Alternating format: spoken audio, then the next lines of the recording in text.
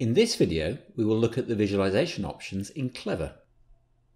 If you expand the right-hand menu and click Visualization, you will see options for the disciplines, worksets, and linked models set up in your original Revit project.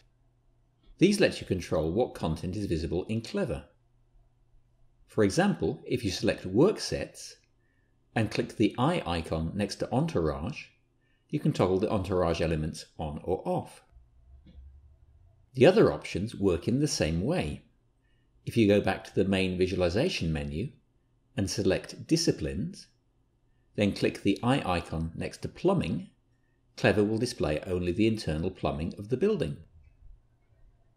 Similarly, if you go back to the visualization menu and select Linked Models, you will see that you can toggle the content from the linked MEP file on or off.